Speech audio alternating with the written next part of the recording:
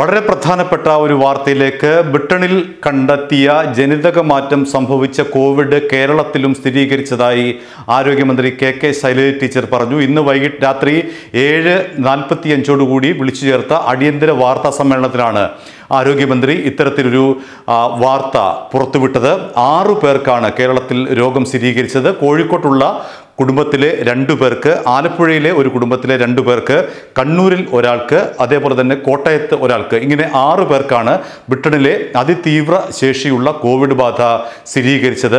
വിദേശത്ത് നിന്ന് വന്നവർ സ്വമേധയാ സർക്കാരിന് റിപ്പോർട്ട് ചെയ്യേണ്ടതുണ്ട്. പ്രത്യേകിച്ചും ബ്രിട്ടൻ അടക്കമുള്ള യൂറോപ്യൻ രാജ്യങ്ങളിൽ നിന്ന് വന്നവർ സ്വമേധയാ സർക്കാരിന് മുന്നിൽ ഹാജരായി ഇത്തരത്തിൽ റിപ്പോർട്ട് നൽകേണ്ടതുണ്ട്. തങ്ങൾ വന്ന വിമാനം അതേപോലെ തന്നെ മറ്റ് വിശദാംശങ്ങൾ യാത്രാ വിശദാംശങ്ങൾ എല്ലാം തന്നെ അതത് കേന്ദ്രങ്ങളിൽ അത് ആരോഗ്യ വകുപ്പ് കേന്ദ്രങ്ങളിൽ അറിയിക്കേണ്ടതുണ്ട്.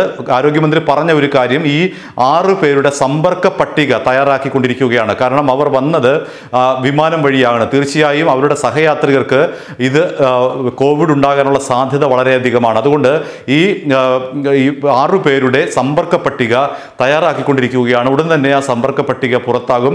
അങ്ങനെയെങ്കിൽ ഇവരുമായി സമ്പർക്കത്തിലേർപ്പെട്ടവർക്ക് ഈ രോഗമുണ്ടോ എന്നുകൂടി പരിശോധിക്കുമെന്നാണ് ഇന്ന് ആരോഗ്യമന്ത്രി പറഞ്ഞത്. ഇരുപത്തി ഒൻപത് പേരുടെ സാമ്പിളുകളാണ് പൂനെയിലേക്ക് പരിശോധിക്കാൻ അയച്ചത്. ഇതിൽ പതിനൊന്ന് പേരുടെ റിസൾട്ട് കിട്ടിയിരുന്നു. അത് സാധാരണ കോവിഡ് ആണ് എന്നുള്ള റിസൾട്ടാണ് കിട്ടിയത്. ബാക്കിയുള്ള ആറു പേരുടെ റിസൾട്ട് ഇന്ന് വന്നു. ആ ആറ് പേരുടെ റിസൾട്ടിലാണ് അതിതീവ്ര വ്യാപന ശേഷിയുള്ള ബ്രിട്ടനിലെ കോവിഡ് കണ്ടെത്തിയിരിക്കുന്നത് എന്നാണ് ആരോഗ്യമന്ത്രി പറഞ്ഞിരിക്കുന്നത്. ബാക്കിയുള്ളവരുടെ പരിശോധനാ ഫലം നാളെയോ മറ്റന്നാളോ ലഭിക്കുമെന്നുള്ള സൂചനയും ഇന്ന് ആരോഗ്യമന്ത്രി നൽകുകയുണ്ടായി.